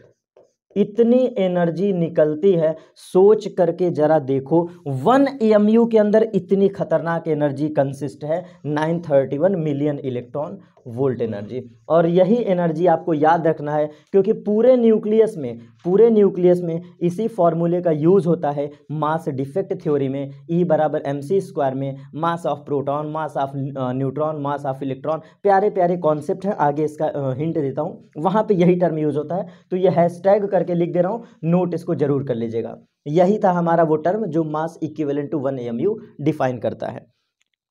just after this in points के बाद अब एक बेहतरीन कॉन्सेप्ट आपको समझाने चल रहे हैं Einstein mass energy equivalent relation Einstein mass energy equivalent relation चलिए next derivation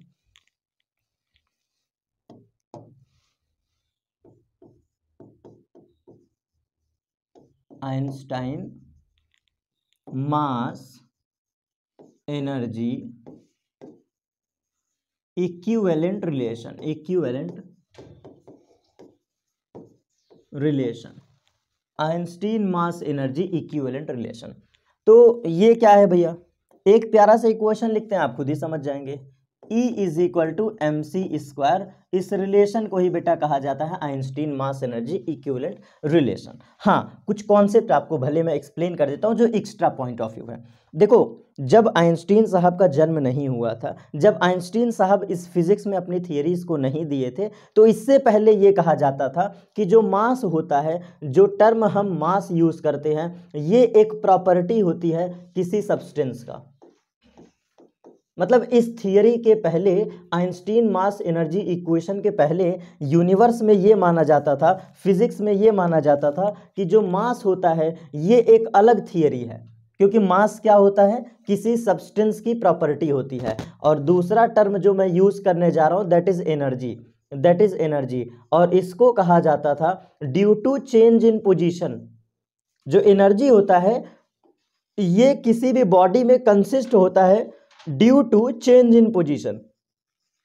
due to change in position अगर आप क्लास इलेवेंथ पास होकर आए हैं और मुझे पूरा भरोसा है कि आप ट्वेल्थ में अगर न्यूक्लियस पढ़ रहे हैं तो ग्यारह पास करके ही आए होंगे और इलेवेंथ के डिफिनेशन में आप याद करिए हमारा पचवां छठवां chapter work power energy chapter वहाँ पे यही कहा जाता था कि जो एनर्जी होती है ये due to change in position create होता है जैसे कि अगर बात करें अगर बात करें मूविंग ऑब्जेक्ट का तो वहाँ पर वेलोसिटी क्रिएट होती थी due to change in position kinetic energy आती थी सेम एज वेल एज अगर बात करते हैं पोटेंशियल एनर्जी का तो पोटेंशियल एनर्जी जो होती थी ये change in position vertical direction होता था due to change in position in vertical direction that energy is called potential energy that is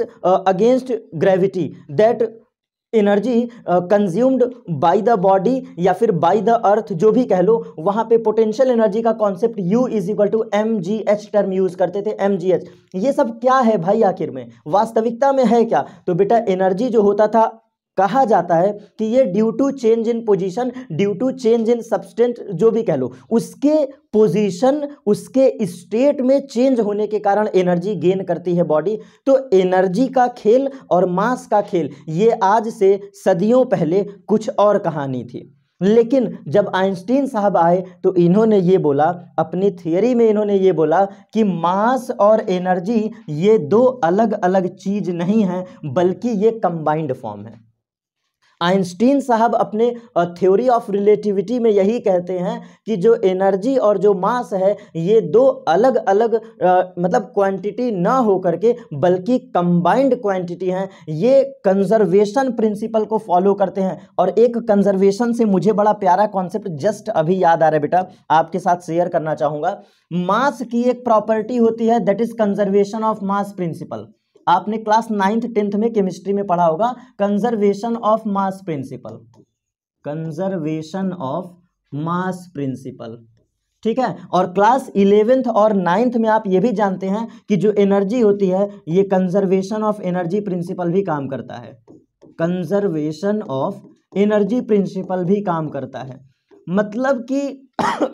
Einstein साहब ने बेटा ये भी फैक्ट रखा है कि conservation of mass and conservation of energy ये दो अलग अलग प्रिंसिपल ना हो करके बल्कि कंबाइंड प्रिंसिपल हैं जिसको हम लोग ये भी कह सकते हैं जिसको हम लोग अगर आइंस्टीन के थियोरी से समझें आइंस्टीन के विचार से अगर समझें तो इसको हम कह सकते हैं मास प्लस एनर्जी कंजर्वेशन बेटा यही इस थियरी का बड़ा स्पेशल नाम है मास प्लस एनर्जी कंजर्वेशन और यहाँ से हमारा यहाँ से हमारा कॉन्सेप्ट निकल के आया ई e बराबर एम सी स्क्वायर का लाइन और ई e बराबर एम सी स्क्वायर का थियरी अभी थोड़ा सा और डेप्थ में जाते हैं ये तो बस मैं थियरी थियरी बता रहा था कि मास एक अलग दुनिया है एनर्जी एक अलग दुनिया है आइंस्टीन साहब बीच में आए और इन्होंने कंबाइंड रिलेशन बता दिया ई e बराबर एम सी स्क्वायर अब इसका कॉन्सेप्ट सुनिएगा अब इसका कॉन्सेप्ट और प्रिंसिपल समझिएगा इस आइंस्टीन मास एनर्जी रिलेशन का अब कॉन्सेप्ट थोड़ा सा कॉन्सेप्ट टॉकिंग बातें हो जाए थोड़ा सा ठीक है आइए देखिए हम करते क्या हैं एक जनरल प्रिंसिपल आपको समझाता हूं कि चाहे रेस्ट मास हो पहली बात सुन लो चाहे वो रेस्ट मास हो और चाहे वो मूविंग मास हो अगर बॉडी रेस्ट मास पे है तो इसके अंदर एनर्जी कंजर्वड होती है ये आप जान लो ठीक है एनर्जी इसके अंदर कंजर्व होती है भले वो बॉडी रिस्ट पर है मतलब every mass every substance that contain some energy which is called E बराबर M C square through the equation E बराबर M C square we can easily define the energy in joule ठीक है wrist मास भी कुछ ना कुछ energy रखता है ये हम जानते हैं लेकिन अब एक बात सुनना लेकिन आइंस्टीन साहब ने ये खास तौर पे फोर्स करके बताया आइंस्टीन साहब ने आ, मतलब खास तौर पे ये फोर्स करके बताया कि कोई एक बॉडी एम है जिसका मास कितना है एम है कोई जनरली एक बॉडी है जिसका मास एम है जब हम इसको स्पीड ऑफ लाइट सी देंगे जब हम इसको speed of light speed of light C देते हैं बेटा तब जाकर के एनर्जी हमें प्राप्त होती है उस एनर्जी का नाम है ई e बराबर एम सी स्क्वायर और इसमें एक बात और हिडन है यहाँ पर एक बात और हिडन है एक बात हिडन और है ये जो मास है बेटा ये जो मास एम हमने एज्यूम किया है अगर ये मास कन्वर्ट हो गया एनर्जी में अगर ये मास कन्वर्ट हो गया एनर्जी में तो कहीं ना कहीं ये मास का डीके हो जाएगा ये मास खुद में नष्ट हो जाएगा क्या कहने का मतलब है जब तक कोई बॉडी अपने मास को कम नहीं करेगा तब तक एनर्जी कहाँ से मिलेगा कहने का सेंस यह है कि अगर हम यहाँ पे बाई प्रिंसिपल बात करें तो आपने फॉर एग्जाम्पल पाँच के का एक बॉडी लिया और इस पाँच के को बॉडी को आपने three into ten to the power eight speed से मान लो फेंका three into ten to the power eight metre per second से फेंका तो फाइनली पता है क्या होगा बेटा जब एनर्जी आपको E बराबर एम सी स्क्वायर प्राप्त होगा ये एनर्जी आपको जब मिलेगा तो कहीं ना कहीं फाइनली जो मास होगा वो डिक्रीज हो गया होगा मैं एज्यूम कर लेता हूँ कि वो मास फाइनली टू के जी बचा तो ये थ्री के जी का डिफरेंस कहाँ से आया तो इसको हम ये कह सकते हैं कि जो इस इनिशियल बॉडी का थ्री के जी मास था वही तो कन्वर्ट हुआ एनर्जी में और इसी प्रिंसिपल को हम इजीली कह सकते हैं ई e बराबर एम सी स्क्वायर प्रिंसिपल तो ये कहीं ना कहीं आइंस्टीन ने यही डिफाइन किया कि जब मास का डीके होगा मास मतलब लॉस होगा लॉस इन मास होगा तभी आपको गेन इन एनर्जी मिलेगी तभी आपको गेन इन एनर्जी मिलेगा और या फिर एनर्जी अगर कहीं से आ, मतलब आ, क्या कहते हैं एनर्जी अगर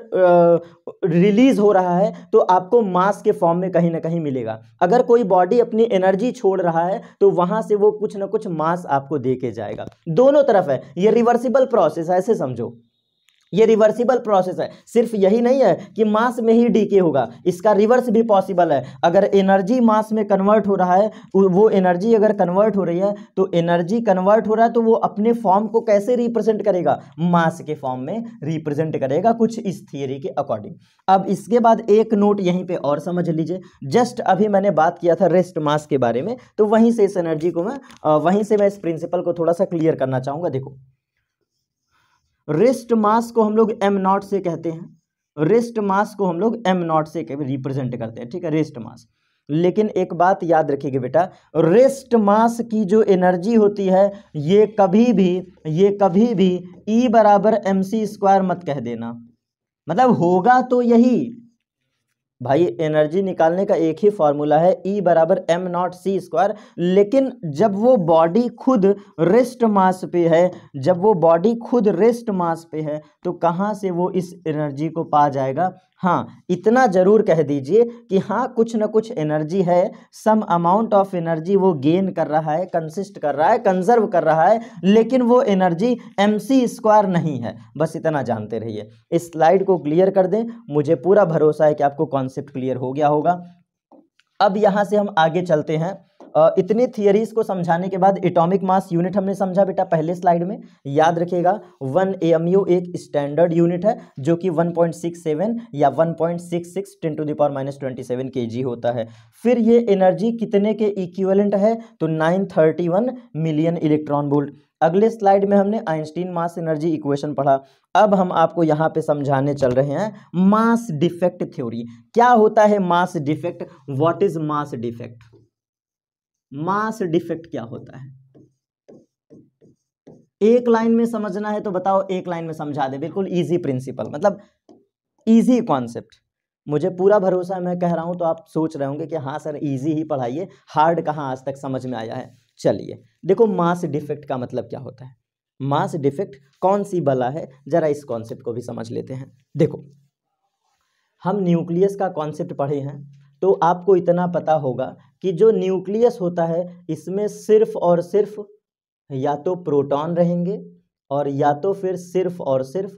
न्यूट्रॉन रहेंगे यस सर हमें पता है पहले क्लास में आप पढ़ाए थे कि जो न्यूक्लियस होता है वो प्रोटॉनों और न्यूक्लियो प्रोटॉन और न्यूट्रॉन का घर होता है प्रोटॉन और न्यूट्रॉन का बसेरा होता है और जिसको हम लोग कंबाइंड फॉर्म में न्यूक्लियॉन्स कहते हैं न्यूक्लियॉन्स याद आ रहा है ना हाँ याद आना चाहिए ये न्यूक्लियॉन्स है तो कहा यह जाता है बेटा प्रिंसिपल ये कहता है क्या है मास डिफेक्ट तो अगर हम मास ऑफ प्रोटॉन को इंडिविजुअल ऐड कर लें किसी न्यूक्लियस के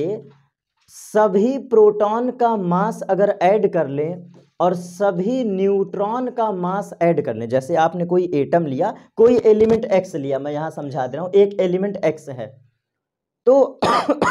मास डिफेक्ट को इससे इजी नहीं समझा सकता कोई एलिमेंट एक्स है तो इसमें कितने प्रोटॉन है डिफाइन कर लो कितने न्यूट्रॉन है डिफाइन कर लो और जब आप इन दोनों का मास ऐड करोगे ना बेटा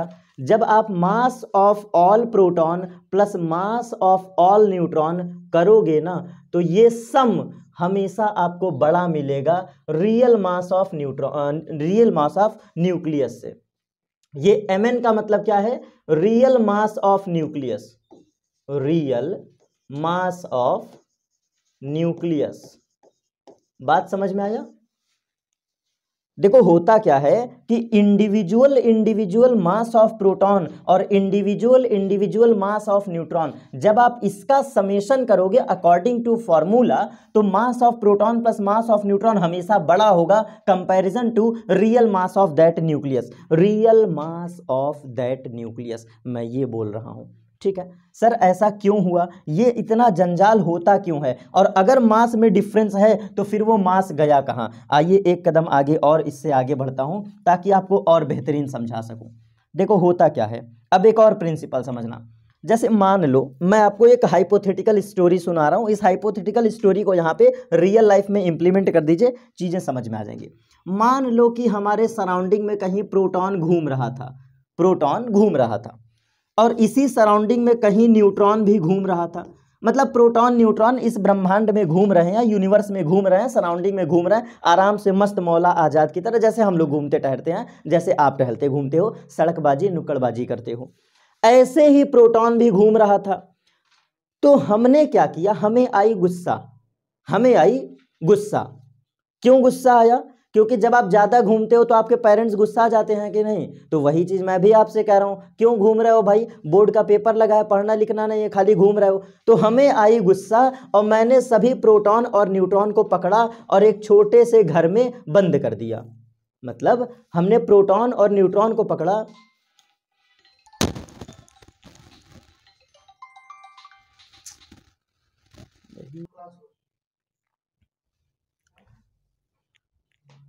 तो हमें आई गुस्सा हमने क्या किया कि सराउंडिंग से प्रोटॉन पकड़ा सराउंडिंग से न्यूट्रॉन पकड़ा और एक छोटे से घर में हमने भर दिया हमने एक छोटे से घर में इसको भर दिया छोटे से घर में हमने इसको भर दिया तो देखो होगा क्या बेटा यही कहानी वाकई में किसी एटम को बनाने में होता है यही कहानी किसी एटम को बनाते समय होता है हम एज्यूम क्या करते हैं ऐसा मानते हैं थियरी में ऐसा एज्यूम करते हैं कि जब हम अलग अलग प्रोटॉन और जब अलग अलग न्यूट्रॉन को किसी अमाउंट में किसी फिक्स अमाउंट में जब छोटे से घर में भरते हैं तो यहाँ पे निर्माण होता है एक न्यूक्लियस का एक न्यूक्लियस का निर्माण होता है और फिर इस न्यूक्लियस के चारों तरफ इलेक्ट्रॉन चक्कर काटते हैं और इस पूरे कहानी को हम लोग इजीली कहते हैं कि एटम बन गया एटम बन गया और जब एटम बन गया तो हमारे दिमाग में ये भी प्रिंसिपल आता है जनरल प्रिंसिपल आता है कि अरे यार अगर हम सभी individual individual mass of proton और न्यूट्रॉन को जोड़ते हैं ऐड करते हैं तो हमें ये पता चलता है कि sum of mass of proton plus sum of all mass of neutron is always greater than the real mass of that nucleus the real mass of that nucleus तो हम यहाँ से ये कह सकते हैं कि ये जो डिफरेंस आ रहा है ये जो मास ऑफ प्रोटॉन न्यूट्रॉन में ये जो डिफरेंस आ रहा है इसी डिफरेंस को कहते हैं मास डिफेक्ट इस डिफरेंस को ही कहते हैं मास डिफेक्ट अब दूसरा क्वेश्चन ये उठता है कि सर आखिर ये मास कम क्यों हुआ क्वेश्चन ये भी उठता है ना कि मास डिफेक्ट चलो हम समझ लिए मास ऑफ डिफेक्ट का बेसिक कॉन्सेप्ट समझ लिए कि किसी एटम की बात हो रही है तो सभी प्रोटॉनों का मास रख लो सभी न्यूट्रॉनों का मास रख लो ये इसका जो सम होगा जो इसका एडिशन होगा ये बड़ा होगा रियल मास ऑफ न्यूक्लियस के तो क्वेश्चन उठता है ना कि सर न्यूक्लियस वही एटम वही तो डिफरेंस क्यों आया भाई एटम वही है न्यूक्लियस वही है प्रोटॉन वही है न्यूट्रॉन वही है तो फिर डिफरेंस आया क्यों तो मैं बताता हूं ये जो डिफरेंस आया ना ये डिफरेंस इस बात पे आया कि इसके कारण कुछ एनर्जी रिलीज होती है इस इस प्रोटॉन और न्यूट्रॉन को बांधे रखने में कुछ एनर्जी की हमें ज़रूरत होती है हमें कुछ न कुछ एनर्जी की आवश्यकता होती है और वही एनर्जी यहाँ पे रिलीज हो गई है मतलब कि मास ऑफ प्रोटॉन और मास ऑफ न्यूट्रॉन कम हो गया ना फाइनली तो जब मास का जो गैप मिला यही मास एनर्जी में कन्वर्ट हो गया और उस एनर्जी के कारण न्यूक्लियस को बनाने में आप सक्षम हो पाए आइए ज़रा आगे कॉन्सेप्ट समझाते हैं तब आप धीरे धीरे चीज़ों चीज़ों को समझोगे पहले हम मास डिफेक्ट को फार्मूला वाइज पढ़ लें पहले मास ऑफ इस मास डिफेक्ट का फार्मूला पढ़ लें तो भैया देख लो मास डिफेक्ट को डेल्टा एम से रिप्रेजेंट करते हैं डेल्टा एम और इसका फार्मूला होता है ऑल प्रोटॉन तो जेड का मतलब होता है atomic number Z times mass of proton होगा आप मानते ही हैं आपको पता होगा जेड का मतलब था एटॉमिक नंबर किसी एटम का जो एटॉमिक नंबर होता है उतने ही प्रोटॉन होते हैं तो Z into M P M P का मतलब मास ऑफ प्रोटॉन अब इसमें ऐड कर दो न्यूट्रॉनों की संख्या तो न्यूट्रॉन कितने होते हैं ए माइनस जेड किसी एटम में न्यूट्रॉन्स कितने होते हैं ए माइनस जेड ए होता था मास नंबर और जेड होता था एटॉमिक नंबर तो ऊपर वाले नंबर में से नीचे वाला नंबर सब्सट्रैक्ट कर दो ए माइनस जेड इतने नंबर ऑफ न्यूट्रॉन्स होते हैं और इसको मल्टीप्लाई कर दो मास ऑफ न्यूट्रॉन से तो ये दो टर्म है अब इसको सब्सट्रैक्ट कर दो रियल मास ऑफ न्यूक्लियस से तो यही प्यारा सा फॉर्मूला आपका यूज होता है ठीक है जहां पे ये जेड बता रहा है total number of proton total number of proton total number of proton ये ए माइनस जेड बता रहा है टोटल नंबर ऑफ न्यूट्रॉन्स ठीक है और ये मास ऑफ प्रोटॉन और मास ऑफ न्यूट्रॉन ये एक हम मतलब एवरेज वैल्यू मानते हैं जो हमें पता है और एम ऑफ एन ये real mass of that nucleus है ये आपको ऑलवेज गिवन होगा real mass of nucleus given होगा ठीक है ये सवाल में गिवन होता है तो चलिए ये बातें समझ में आ गई फार्मूला समझ में आ गया अब आगे चलते हैं क्वेश्चन ये उठता है प्यारा सा क्वेश्चन ये उठता है कि डेल्टा एम हुआ क्यों ये डेल्टा एम आया ही क्यों आया क्यों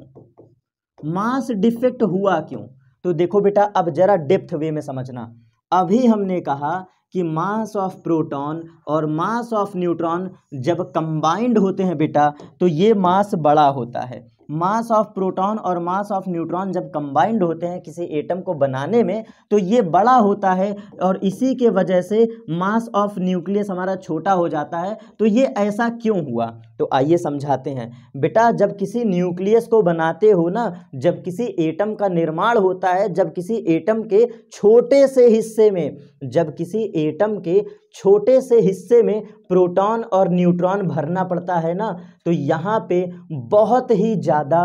हाई अमाउंट ऑफ एनर्जी की हमें आवश्यकता होती है क्योंकि proton proton due to same nature oppose करते हैं न्यूट्रॉन तो न्यूट्रल होता है कोई चार्ज नहीं होता चार्जलेस पार्टिकल होता है लेकिन छोटे से हिस्से में जब प्रोटॉन और प्रोटॉन को ज़बरदस्ती बांधे रखना पड़ता है ना तो इस दौरान हमें एनर्जी की आवश्यकता होती है और वो एनर्जी आएगा कहाँ से वो एनर्जी आएगी कहाँ से तो यही जो प्रोटॉन और न्यूट्रॉन का समय एसन मास होता है ये कुछ हिस्सा कन्वर्ट हो जाता है ई e बराबर एम सी स्क्वायर फॉर्म में ई e बराबर delta M C square form में where delta M is mass defect where delta M is mass defect where delta M is mass defect जो mass उड़ गया जो पहले individual proton था और जो बाद में न्यूक्लियस बना इस दौरान मास क्या हुआ उड़ गया है मास कम हो गया मास का डीके हो गया तो जब मास का डीके हो गया तो वो एनर्जी के फॉर्म में हमें मिलता है दैट एनर्जी इज ई बराबर एम सी स्क्वायर और इसी हेडिंग को इसी टॉपिक को इसी एनर्जी को नया नाम दिया जाता है बाइंडिंग एनर्जी ये जो मैं एनर्जी लिख रहा हूं ना ई e बराबर एम सी स्क्वायर यहीं से आपका concept complete what is binding energy क्या होती है बाइंडिंग एनर्जी बाइंडिंग एनर्जी का कॉन्सेप्ट यहीं से आता है बाइंडिंग एनर्जी क्या होता है तो बाइंडिंग एनर्जी वो एनर्जी होती है किसी न्यूक्लियस को तोड़ने के लिए आवश्यक एनर्जी अगर आप किसी न्यूक्लियस को तोड़ना चाहते हो तो इतना एनर्जी दे दो ये टूट जाए ये न्यूक्लियस जो है टूट जाए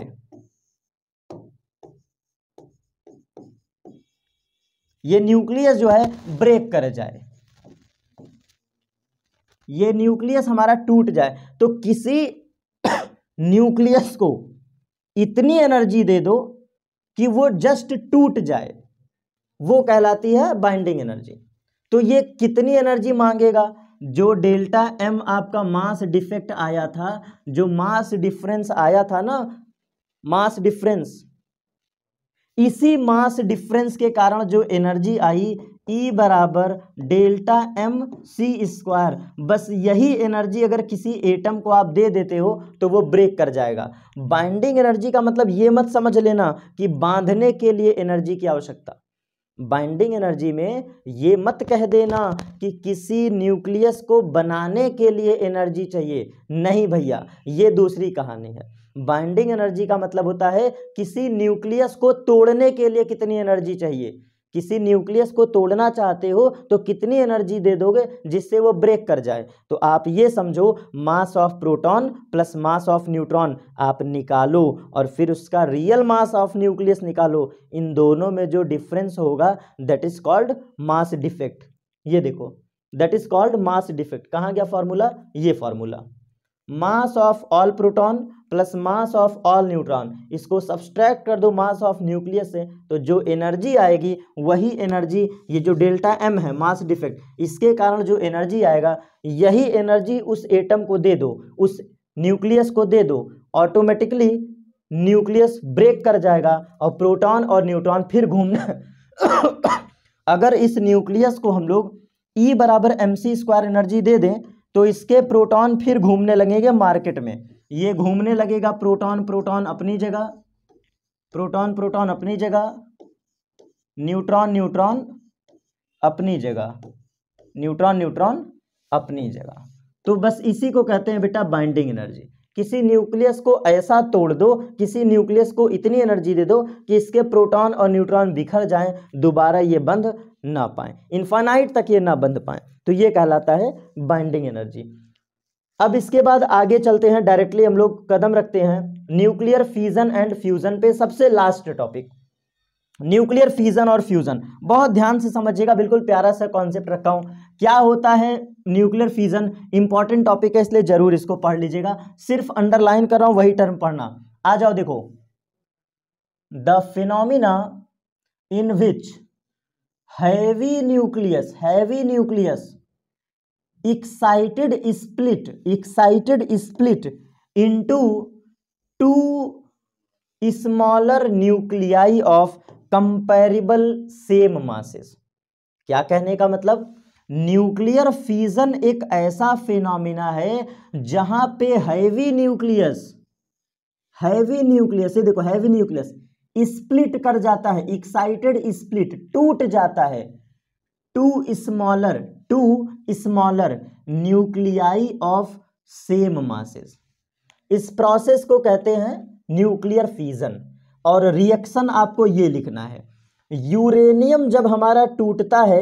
यूरेनियम जब टूटता है तो बेरियम और क्रिप्टॉन जैसा एलिमेंट बनाता है और जिसके कारण हैवी एनर्जी भी रिलीज होती है इस थियरी को ऑटो हैन और फ्रिज स्ट्रॉसमैन ने दिया था तो auto and fridge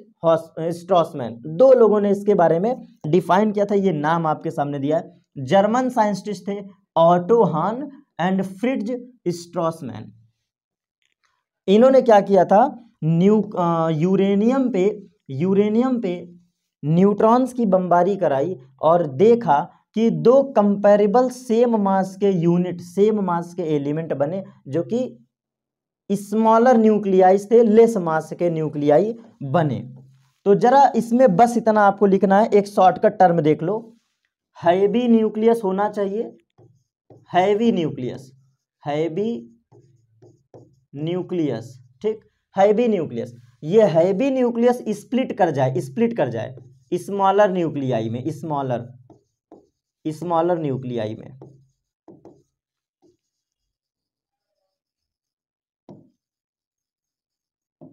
smaller nuclei nuclear fission का मतलब है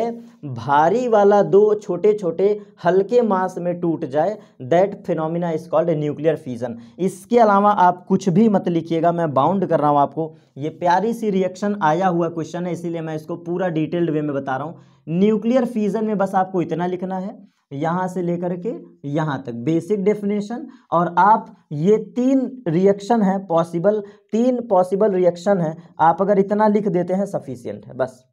क्योंकि जब यूरेनियम को तोड़ना होता है हमें यूरेनियम को जब तोड़ना होता है तो बेटा यूरेनियम को तोड़ने के लिए कहा जाता है कि किसी भी न्यूक्लियस को तोड़ना है तो उस पर न्यूट्रॉन्स की बमबारी कराइए न्यूट्रॉन्स को हैवी अटैक करिए ऑटोमेटिकली वो न्यूक्लियस कुछ देर में टूट जाएगा इतना स्पीड से भेजा जाता है न्यूट्रॉन्स कि वो खुद ही जाके स्प्लिट कर जाता है तो इसीलिए इस रिएक्शन में जो भी आप प्रोसेस देखोगे इस न्यूक्लियस पर इस एलिमेंट पर न्यूट्रॉन्स की बमबारी कराई जाती है और फाइनली वो स्प्लिट कर जाता है और ये रिएक्शन आपके सामने रिप्रेजेंट है ठीक है यूरेनियम है न्यूट्रॉन्स की बमबारी किया गया ये बना बेरियम ये बना क्रिप्टॉन और यहाँ पे क्यू का मतलब है एनर्जी रिलीज हुई है क्यू का मतलब हैवी अमाउंट ऑफ एनर्जी यहाँ पे रिलीज हुई है ठीक है और लगभग कितनी एनर्जी लगभग कितनी एनर्जी तो ये देखो 200 मेगा सौ मिलियन इलेक्ट्रॉन वोल्ट ये देखो